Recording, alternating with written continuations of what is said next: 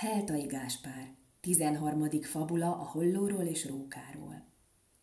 Egy holló egy igen szép darab sajtot ragad egy ablakból, és felröpüle egy magas fára véle. Látván azt egy róka, igen kezdé a sajtot kívánni, és a fa alá méne, és szólni kezde a hollónak, és igen dicsírni, mondván, Ó, te holló, nemes madár vagy, nincsen tenéked mása, szép tollaid vadnak fényesek, melyekkel semmi bársony nem ér, csak hogy szavad szép volna termetedhöz hasonló. Hiszem is, hogy szép szavad legyen, de nem hallottam.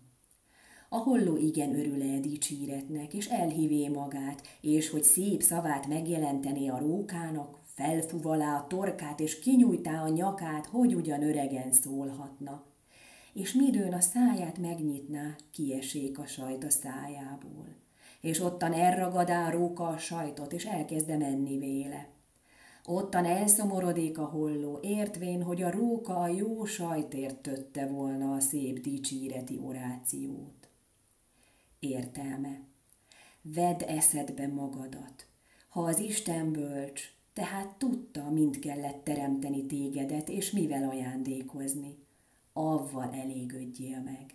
Ne keres hiába való dücsőséget és dicséretet. Megnézd a lábodnak kaptáját, ne kívánj nagyobb sarut, mert azok, kik igen dicsírnek tégedet, nem szeretnek. És ha lehet, bizony meglátják, ha a sajtot kikaphatják szájadból. Ártalmasbb állat nincsen hipokritánál és hizelkedőnél.